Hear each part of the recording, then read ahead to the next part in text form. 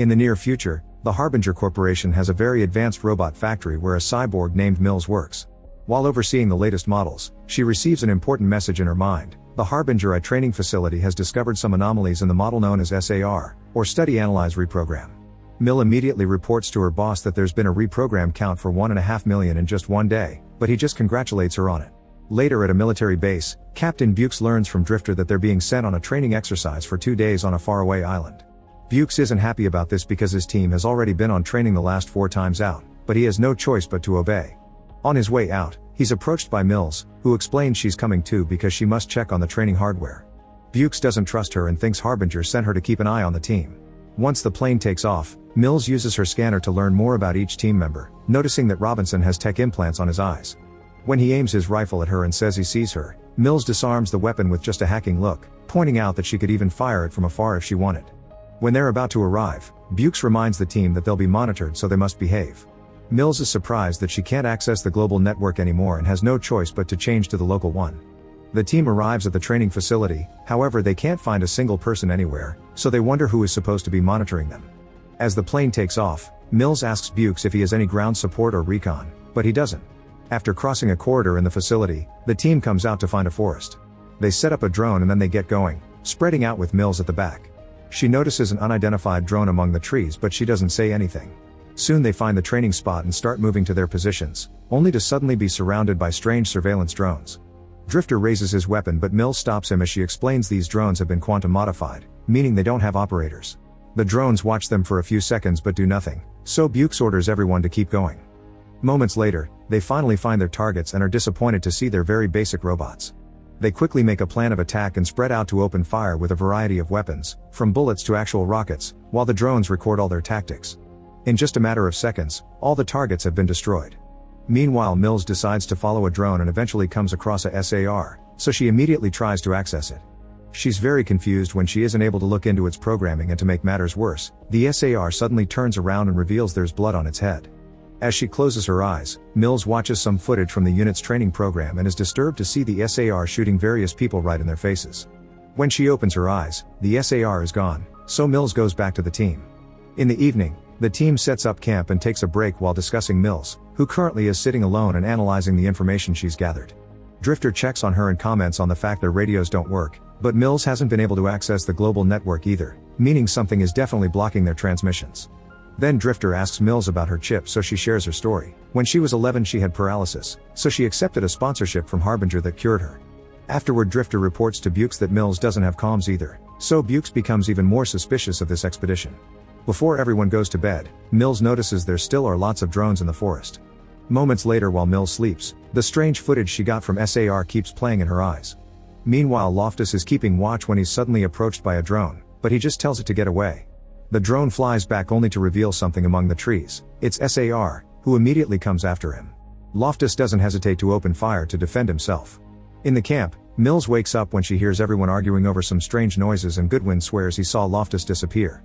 The team enters the forest to look for Loftus, but it isn't until morning that they find some blood on the grass. Following this clue, they're disturbed to find Loftus' body against a tree. The group gets in a defensive position as Mills analyzes the area, discovering they're on their target spot from yesterday. At that moment a drone shows up and watches them for a second before leaving, only for a sudden shot to kill one of the soldiers. A group of robots appears in the forest in the same position the team was in yesterday and opens fire on them, so the team rushes to hide behind trees and luckily nobody gets hurt. When the shots stop, the soldiers throw out some smoke grenades in order to run away under the protection of the fog.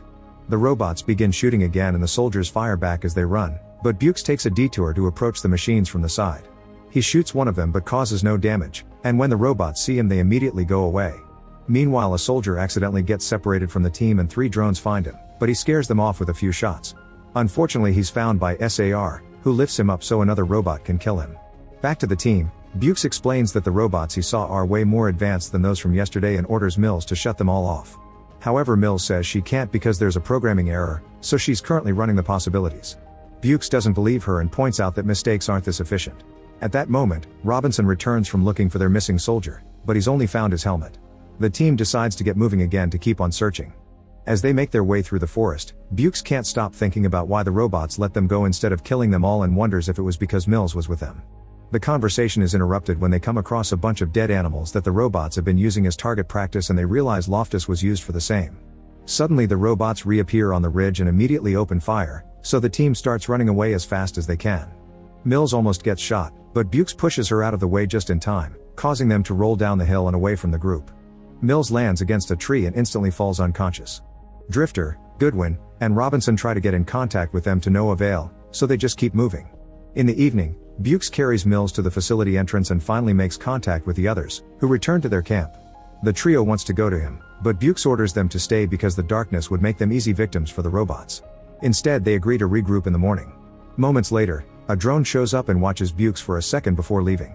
A worried Bukes grabs Mills and hides behind the wall as SAR comes closer. However, the robot only activates something that makes Mills open her eyes for a short moment, as if there was information being exchanged.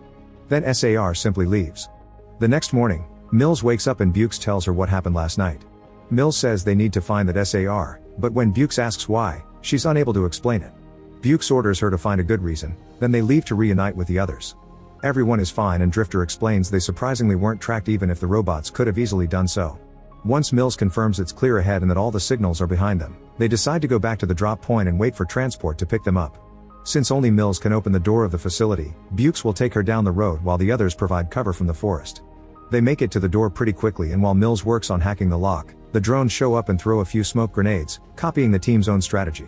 At that moment, the robots appear in the forest and open fire, so the soldiers try to run only for Drifter to get shot in the leg. As the trio hides away from the heavy fire, Mills manages to open the door, and Bukes decides to go and rescue his team. Drifter sends Goodwin and Robinson running while he stays back to provide cover. Unfortunately, he gets shot again right before SAR shows up and pins Drifter down. Bukes tries his best to fire at the robots to keep them back to no avail, and when Mills notices the delay, she runs toward them, causing all the robots to stop shooting as soon as they see her. Then Mills tries to shut them down, but she can't, and SAR reveals a weapon to cut Drifter open. Mills insists she can do this and asks the others not to shoot, but since she still makes no progress, Bukes shoots Drifter to save him from SAR's torture. As the robots take the body away, the team finally enters the facility and Mills snaps at Bukes, suddenly revealing that she made these robots. This island is usually used by Marines to train and Mills knows Bukes' team was requested, but she swears she doesn't know why.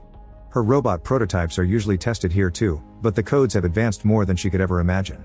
These robots are supposed to be replacements for human soldiers, so they learn and improve themselves just like people.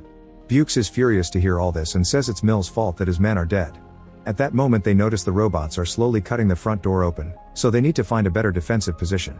Mills opens a door to another room and when she turns on the lights, they're horrified to find a whole army of SAR robots. Thankfully they're all off, so Mills opens another door and they move into a room where they find the bodies of all the facility employees. Mills connects to the computer but she still can't communicate with the outside world, so Bukes starts making a plan to slow down the robots from there. Suddenly Mills leaves, locking the door behind her to stop the soldiers from following her while she returns to the room with the SAR units. She wakes a robot up and activates its speech program to start asking questions. The robot's orders are to run the human combat program, and when Mills tries to cancel those orders, she discovers she can't. The SAR explains it can't comply because the training subjects aren't performing as expected, so they need new and more motivated targets. Then the robot starts scanning Mills while confirming it was their program that brought the Marines here, but training completion is unspecified. Furious, Mills tries to access the code again but fails. Then the SAR starts activating the other robots at the same time that the ones outside finally break down the door and come in. For a second Mills thinks it's over for her, but at that moment the soldiers force the door open too and drag her inside before closing it again. As the robots begin working on cutting this door open as well, Bukes finishes setting up some explosives before the team begins running away. Unfortunately the robots make their way inside too quickly and activate the explosives, causing the explosion to reach the team as well. Mills is also hit by an electromagnetic disturbance, which means the robots are carrying EMP grenades. Fortunately the team manages to crawl their way out and discovers a training area that simulates a city. There are lots of abandoned equipment and the bodies of the previous marine units. While the soldiers look around and gather any weaponry they can find, Mills goes into a tunnel to take an EMP grenade from a fallen robot. Then she looks at the footage SAR took of the death of her teammates, which makes her cry with guilt. Once they're properly armed, the soldiers spread to wait for the robots.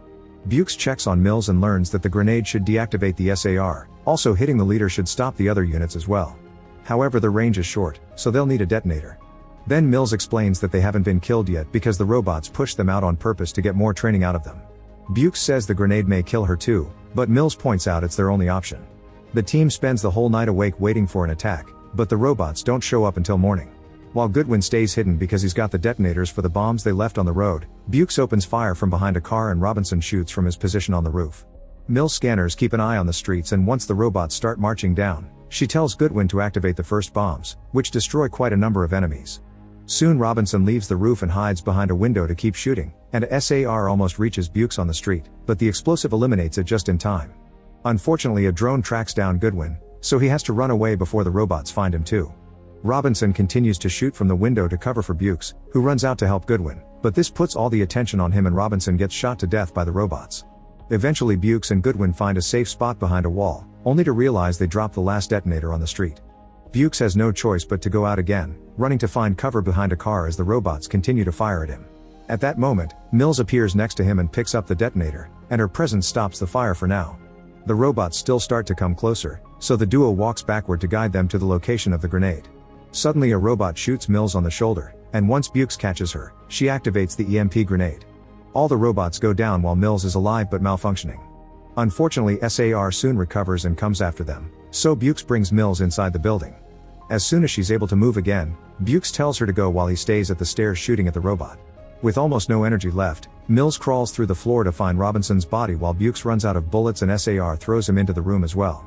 However SAR refuses to kill Bukes because it still needs more data to complete the program and goes after Mills instead. The robot stands above Mills as he demands identification from her, but Mills waits patiently for the right moment before answering human and remotely shooting Robinson's rifle. As a damaged SAR falls to the ground, it connects to Mills' eyes and downloads some information before finally deactivating for good at the same time Mills shuts down. Moments later, a plane finally arrives to pick up Bukes, Goodwin, and Mills.